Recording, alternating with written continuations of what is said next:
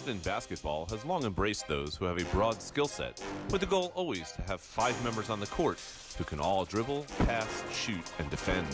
For one member of the program, though, being able to do it all extends well beyond what plays out in the game. The title that Chris has is Director of Basketball Operations, but underneath that title, there's like a tree branch of many things that you do.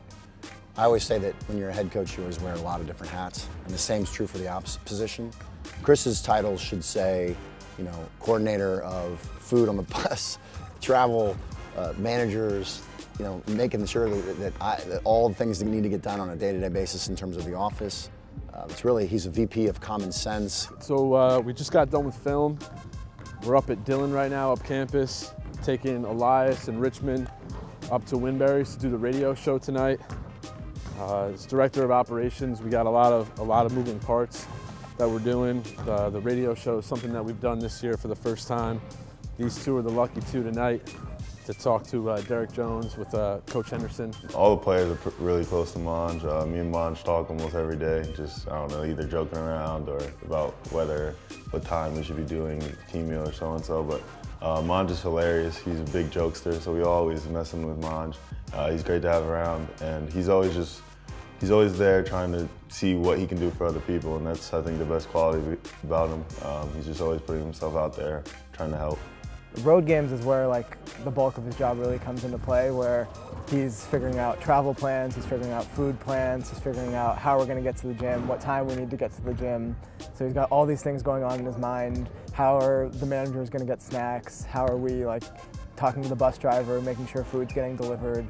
All of that stuff is all happening at the same time as he's, you know, probably breaking down film. He does our attitude board as well. Um, so he's like making a video at the same time that he's worrying about all of that kind of stuff. The thing that impresses me the most is he does it with a little give and take. So he'll give you what he thinks, he'll go a little bit beyond, and then if you push back, he can listen and then give you another thought. Uh, it's, uh, it's a skill that's obviously, I think he's been raised really well.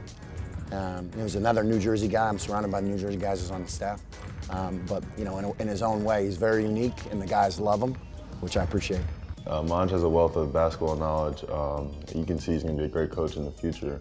Um, just like yesterday, I was having a lot of trouble um, uh, post defense. You know, he brought me to the side, gave me a little tips, just how to be better. And, you know, he's always there to help you, and that's big big to have another coach, even though he's not technically a coach, just there giving you pointers. He just he just makes everybody at ease.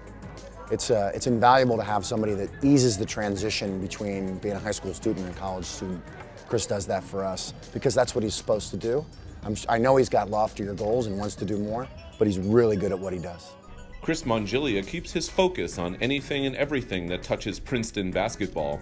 In doing so, he allows the coaching staff and the players to keep their focus on more specific tasks, which on a week that includes a home game against Penn and then a trip to Harvard and Dartmouth that looms shortly after, require no distractions.